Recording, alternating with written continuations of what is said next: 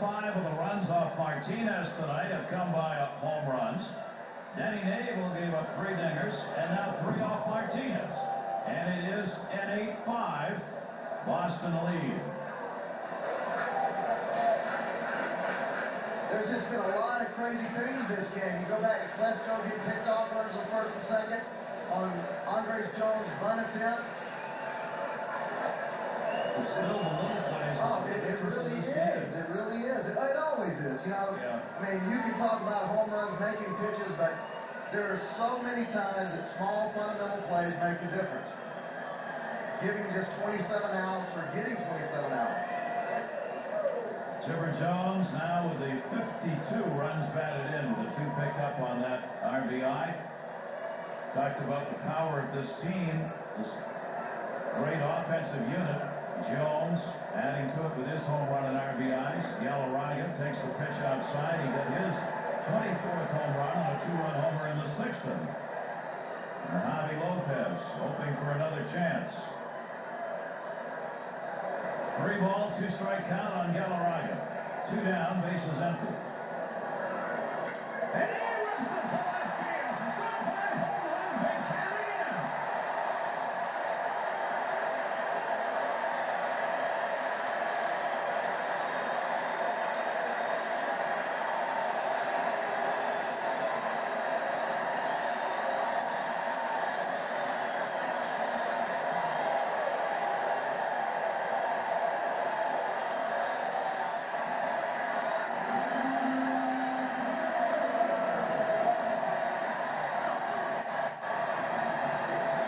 And that will end the night for Pedro Martinez.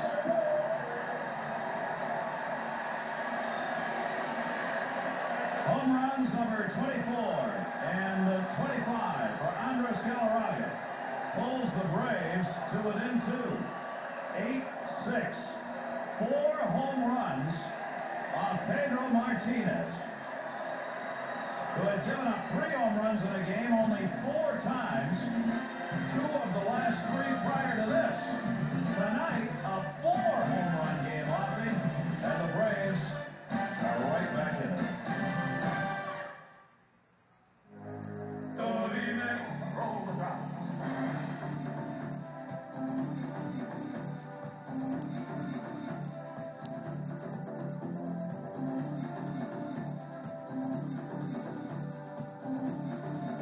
Batear viene Jack Knobloch. Aquí se le vino todo encima al jovencito después del tremendo trabajo que estaba haciendo. Y inclusive los dos hits que han bateado no han sido, no han sido buenos. No, ningún hit ha sido muy bueno. El, el hit que puedo decir que fue más fuerte fue el de Brosio, el de pero yo creo que en tercera base aún a ello tenía un poco de ángulo para poder llegar de la bola. No, como que no cubre mucho terreno a su lado izquierdo Brosio, que debería de cubrir más. Nunca. Pero estamos hablando de Brosio cuando conectó el sencillo por tercera base. Luis Soco viene a batear. Afuera el lanzamiento. Una bola y un strike la cuenta. Listo, el jovencito, el matacito es al jardín central, peligroso en un momento, pero ahora ya está White, y ahora sí cae el tercero finalmente. Cuatro carreras se levantan acá, Yankees sobre los Expos de Montreal. Amenazando con por lo menos, al menos en posición de anotador está ya eh, Mordecai. Y Willie Steyer, otro también de los inmortales, eh, dos- eh, lo hizo en el 71 y en el 73 llegó a 30 cuadrangulares para el juego de las estrellas. Roberto Pérez bateando. Y de ahí en adelante es cuando se hace difícil. Claro. Porque de ahí en adelante batean 10 nada más. Así le pasó a Jim Thomas del equipo de Cleveland. Sí, y luego viene la presión de que cuántos juegos te faltan y cuántos jugadores faltan y, y romper o no, viene la presión, público te pide, te exige y ahí pues, como tú dijiste muy bien que cuando, bueno, Ruth nunca tuvo presión de nada, ¿no? Ahí está la cosa. Porque él no tenía que romper ningún récord, sino establecer. y es distinto. Yo creo que Mary sí tenía un poco de presión porque te imaginas el último juego de, la temporada conectó el 61. Y también sentimentalismo porque estaba, Roger Mary nunca fue, Con la eh, ¿no?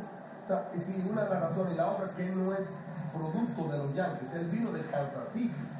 Y entonces, ahí en New York, el sentimentalismo es Johnny Mayo, Mickey Mantle, pero son los peloteros. Entonces, nadie quería en Yankee Stadium o en los, en los favoritos, los seguidores de los Yankees, que fuera otro el que le rompiera el bambino ese récord. Batazo entre tercera y el campo corto, entre tercera base, segunda a un out, la primera, logran la doble matanza.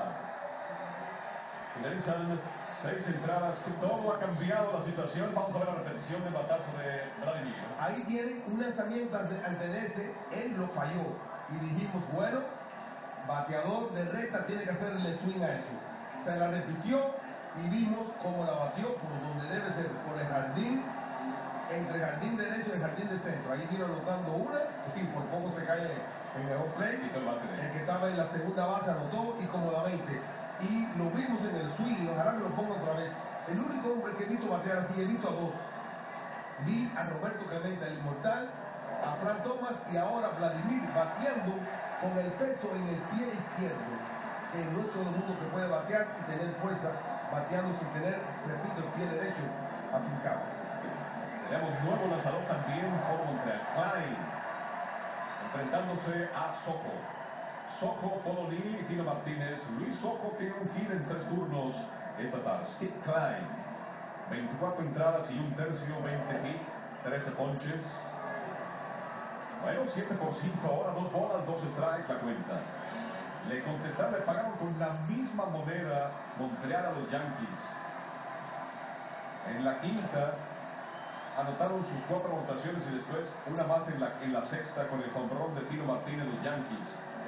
Y aquí, en la parte alta, de las, en la parte baja de la sexta, entrada- de la séptima entrada, llovió en el Estadio Olímpico de Montreal. Dos veces las bases llenas, se anotaron cinco de ellas y siete en total. ¿Y cómo debe estar Pet? Tiene que haber roto unas cuantas cosas allá en el trabajo. Batazo por segunda, recoge bien Steve Santangelo, le tira primera, del 4 al 3. ¿Tú crees? ¿Y sabes qué? Y como Los Yankees, 6 imparables para los Yankees, 8 para los Expos, un error para los Yankees, 2 para los Expos, 7 por 5 gana Montreal. Julián Urbina con el número 41 viene a tratar de salvar su quinto, décimo quinto juego, 27 partidos en los que ha participado, 3 ganados, 2 perdidos, 14 juegos salvados, 30 innings y 2 entradas, 30 entradas y 2 tercios lanzados. Vean ustedes cómo se levanta el brazo de la manga, el brazo derecho de al estilo del país de nosotros. ¿Te recuerdas cuando éramos profesionales que nada más jugábamos en el barrio? Y aquí lo que dice el reporte, la recta durísima en, por encima del 95. Un slider durísima y le tira bastante cambio a los lanzadores. Abrazo de Leros en jardín central, viene buscando donde White se coloca un out rutinario, cae en primera, dos outs una victoria muy merecida, una victoria que necesita eh, los, eh, los, eh, los Expos para poder evitar la barrida y lógicamente para evitar que los Yankees prolonguen su cadena de victorias, que sería a 10, se van a quedar en 9, de acuerdo a lo que estamos viendo, aunque no ha caído el último out. Y esto no se acaba hasta que y lo sacan. Y también poner a pensar ahora o a recapacitar o reestructurar su manera de pensar el manager de los Yankees, los Toros. Y todos, claro, son 162 juegos y en todo no puede ser el héroe y todo el tiempo no va a pensar bien. Pero con esto, y aunque no te afectó, porque de todas maneras están ganando fácilmente en tu división, es decir, la próxima oportunidad, Perry es un hombre que yo le tengo que dejar que me lance nueve entradas porque está fuerte y si no lo puede hacer ahora, jamás lo hace. Porque al final de la temporada, en un playoff, en una serie mundial, este juego va a contar mucho. Oh, claro, definitivamente. Todo Porque cuenta uno al final. aprende de sus errores. Y si no aparece respuesta, ya sabes qué, una serie mundial o quizá que más. Una bola y un strike la cuenta para Chad Turris, que tiene un hit en tres turnos esta noche, un ponche entre ellos. Le tira, se le suelta el bate y va a dar cerca ya del público. Se queda. A ver si se lo cambian o lo dejan en su. A ver cómo van a hacer. Allá va a venir el bate que se quede, dice que se quede con él. Chad Turris quiere el bate para venir bateando y le va a regalar otro. Y le da otro, sí, lo está pidiendo. Un lanzamiento afuera, un slider durísimo. Y entonces, y si le da en la cabeza, y vamos a decir, no vamos a decir que lo mate, pero le provoque, que le provoque ahí una partidura, le van a ir y le van a quitar el bate y el hombre su camilla para, para el hospital, no, le dan otro. Croacia porque va a continuar bateando. Pero como chuta mal ese bate, yo no se lo ve. Sí, yo creo por eso es decir, esto es.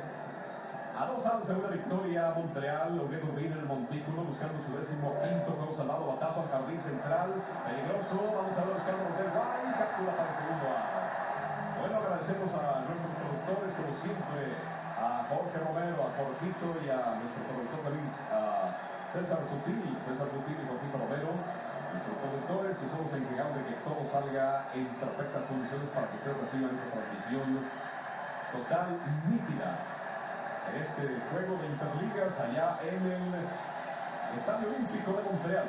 A ustedes también, amables amigos, a través de Fox Sports America, gracias por acompañarnos. El próximo sábado, recuerden, Dodgers contra Colorado, Bill Castilla, Larry Walker contra Sheffield, contra Mondesi. El juego a la una de la tarde. Y también puede ser que Robo Valdés esté lanzando ese desafío, ya que ayer lanzó admirablemente bien. Así que hay muchos latinos que van a estar involucrados en ese juego entre Colorado Rockies y el equipo de los Rockies. A, Mar a Bandera tocaría lanzar el último juego de la serie. Batazo elevado debe ser al cuadro buscando. Luis Elane, cabe los brazos, se coloca y gana Montreal. 7 por 5 evitan la barrera de serie. Sacarita fue salado número 15 Urbina. El ganador fue Valdés. El perdedor fue Stanton. Que la pasen bien, buenas noches. Bueno, así es, nos esperamos ya en 48 horas.